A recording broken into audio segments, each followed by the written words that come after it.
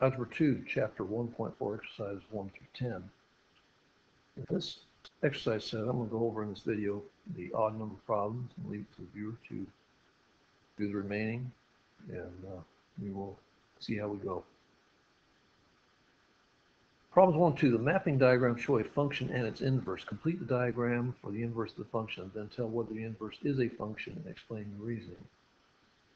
Well, in inverses of functions, the x's become y's and the y's become x's. And so this y in the range of the original function becomes the x value or domain in the inverse.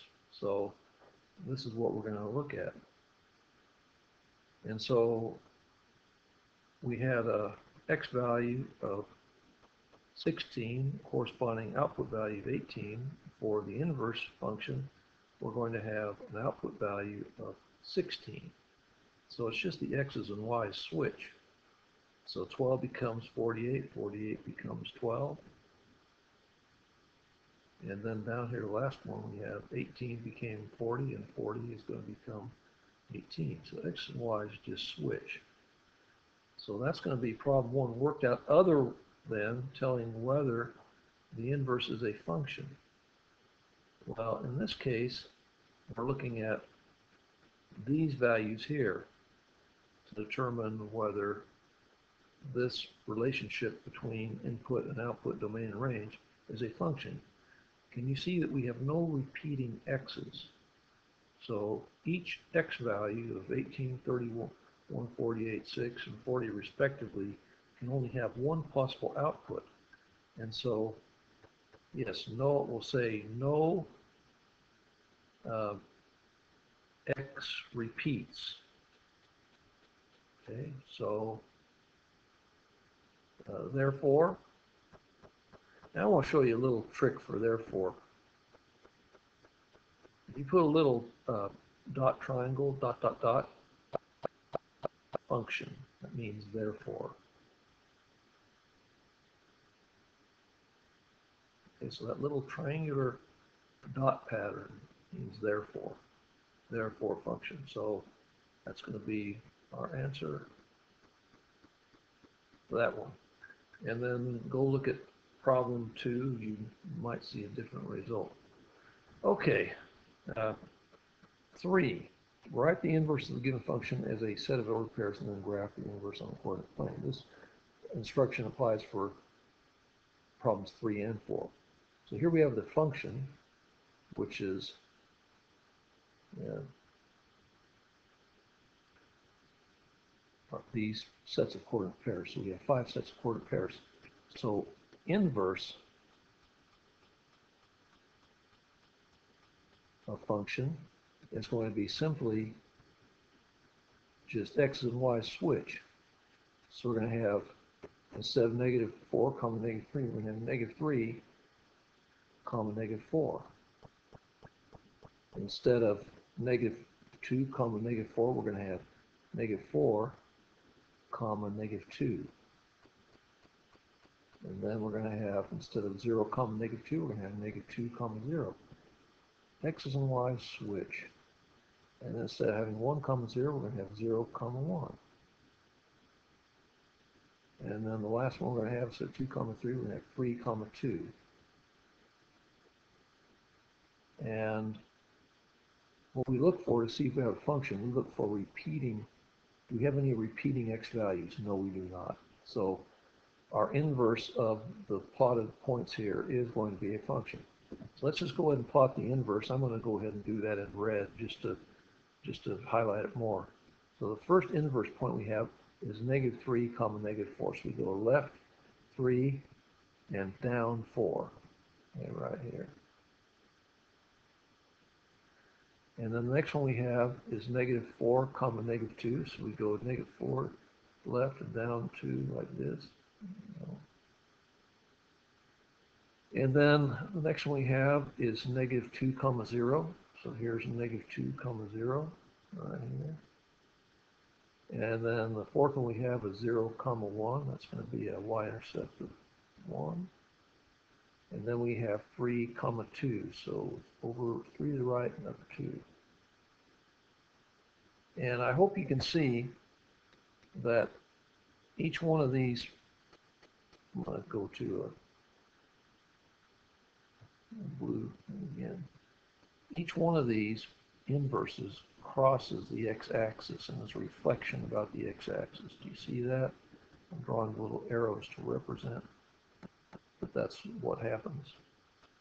Here we have y-intercept of negative 2 becomes the x-intercept of negative 2.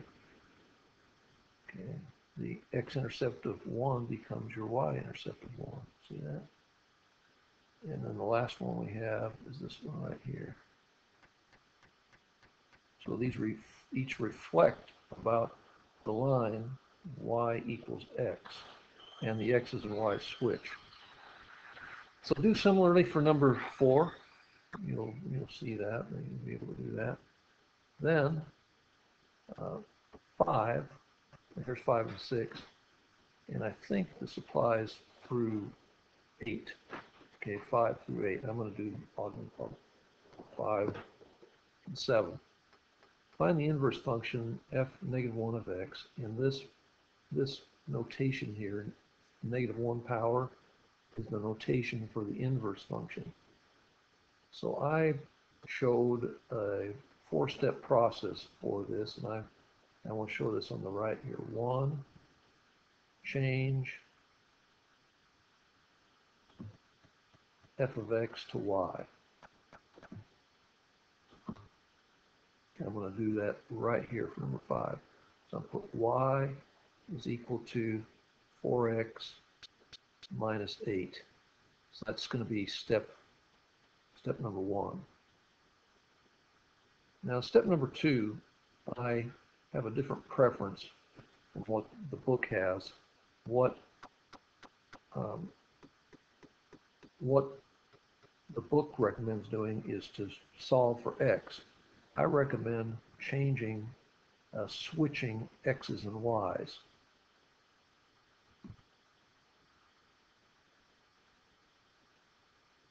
So wherever there's an X, you make a Y. Wherever there's a Y, you make an X. So 2, I'll put down here.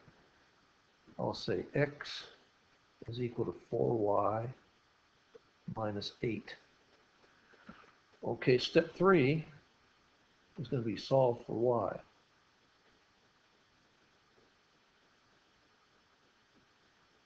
And it's the Y after the switch. So I'm going to put, I'm going to go and do that below here. So the first thing I'm going to do is just switch the order about the equal sign. And the reason I do that is I'm going to be wanting to solve for y. And just out of a systematic way of doing things, I like to have what I'm solving for on the left side of the equal sign. And solving for y, we add 8 to both sides of the equation here we get 4y is equal to x plus 8. Uh, last thing we do is we divide both sides of this equation by 4. And that means all terms on each side. So we have y is equal to uh, 1 fourth x. And you can write that as x over 4, and then 8 over 4 simplifies to 2. And then uh, the last step four is we're going to replace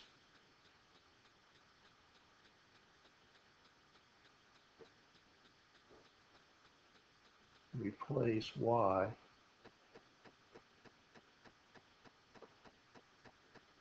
with f negative 1 of x. And so here's the last thing. I'm going to put F, uh, F negative 1 of x. And again, that's just inverse function notation equals 1 fourth x, or you could just write as x over 4 plus 2. And this is going to be our answer for our inverse function.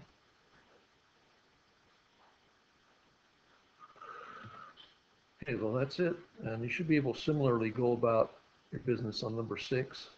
Uh, use the same, same method, four-step method.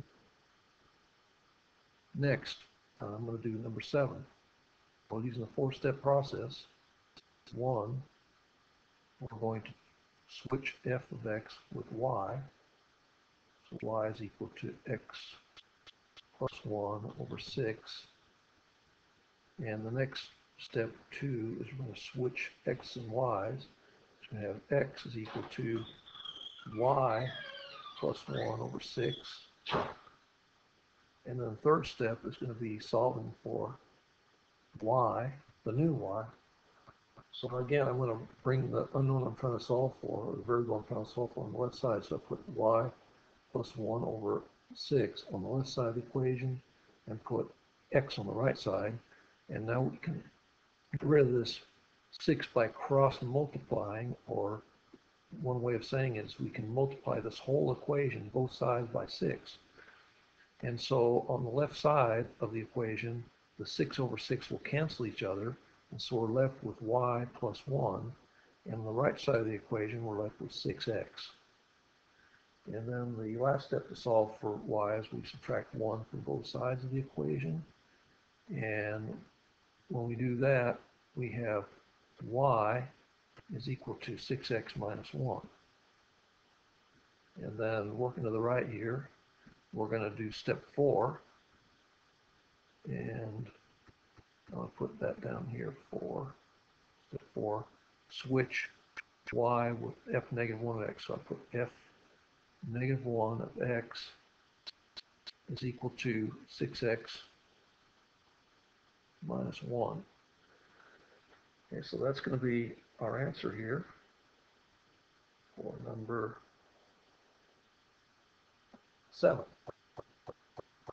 Now, uh, 9 and 10 are uh, find the inverse function f negative 1 of x for the given function f x. Use composition to verify that the functions are inverses. Now, this introduces, uh, this section introduces composition without really laying a framework for it. So I'm going to go ahead and do that, maybe not with this problem, but maybe with, with problem seven. But let's go ahead and, and uh, do this. Again, the four-step process, what is the first step? Yeah, just, just see if you can pause the video and work this out. And then just go ahead and see if you got it right. Okay, step number one, change f of x to, to y. So we put y is equal to negative 3x plus 3. So that's step one. Step two is going to be switch x and y. So I'm going to say uh, x is equal to negative 3y plus 3. And then step three is going to be solve for y. I'm going to bring this the y is over the left side, so I put negative 3y plus 3 is equal to x. Now we can go about solving, and if we subtract 3 from both sides of the equation, we get negative 3y is equal to x minus 3. And then if we divide by negative 3, we get y is equal to uh, x divided by negative 3 is going to be negative 1 third x.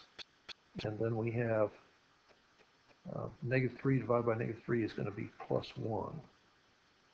And then the final step is going to be switching the y to f negative 1 of x. So f uh, negative 1 of x is equal to negative 1 third x plus 1.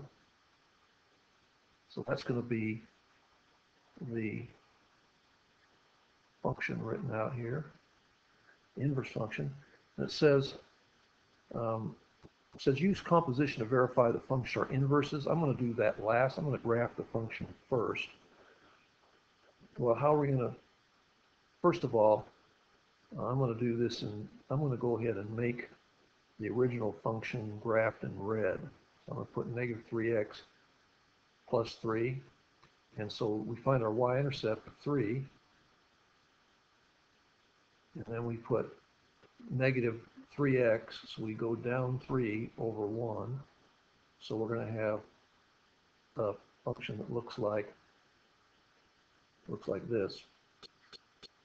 And see if I can get this more or less accurate graphed. Kind hard to. That's about that's about as well as I can do in this thing. Okay. And so next, we're going to graph the the inverse function. I'm going to go to blue. We're going to have negative 1 third x plus 1. So we have our y-intercept of 1. And we go negative one third, so that's down 1 and over 3. So this blue one is going to be the inverse of the original red one. And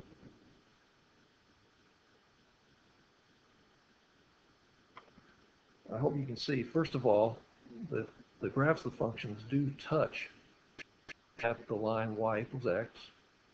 Okay, that's indicative, and then they reflect about this line y equals x.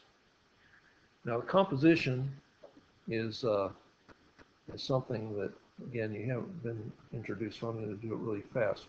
I'm going to put f of g of x. What I'm going to do is I'm going to put f of f negative 1 of x.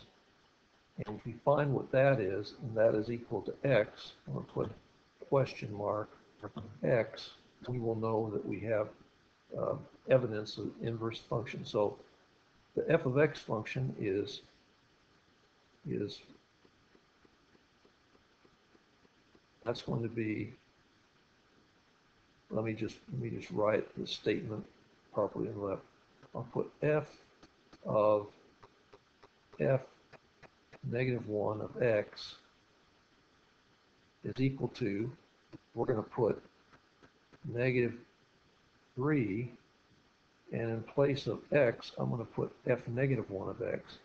So I'm going to put this negative 1 third x plus 1, and then I'm going to put the outside here, this plus 3. And if all this simplifies to x, that would be evidence that we that these functions are inverses of each other. So let's go ahead and do that. If we take negative 3 times negative 1 third, well, that's 3 and negative 3 and negative 1 third are cancel together, so we're going to have x, and then negative 3 times 1, so we're just distributing here. Negative 3 times 1 is going to be negative 3, and then plus 3, and that's going to simplify to x. So therefore, f of f negative 1 of x is equal to x. And so this is evidence that, that these functions are inverses of each other. So we're going to kind of ease into that. And you could do uh, similarly with problem 7 and problem 5 you'd end up with the same thing. So again, we haven't covered compositions of functions yet, but that would be a way to do this. Go ahead and do number 10. It should be very similar to number 9. Good luck. I hope this has been helpful. Thanks for viewing.